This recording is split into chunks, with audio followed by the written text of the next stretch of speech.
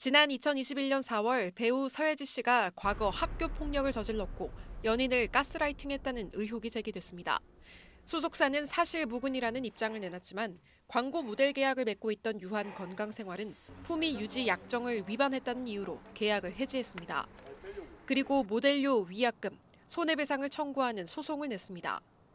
계약서에는 광고 모델이 음주운전, 뺑소니, 폭행, 학교 폭력, 마약 등 혐의로 입건되거나 이를 인정하는 등 공인으로서 품위를 해치는 행동을 해선 안 된다고 명시된 것으로 알려졌습니다.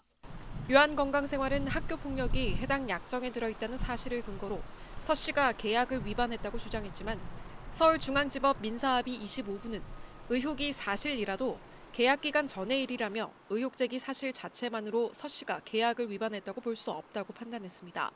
또 청구인의 주장대로 약정을 해석한다면 계약 교섭 단계에서 서 씨가 과거에 있었던 품위 유지 의무 위반 행위를 밝힐 것을 강요한 것으로 헌법상 중대한 기본권 침해라고 지적했습니다.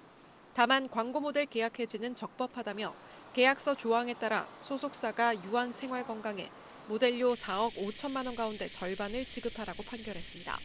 SBS 정희경입니다.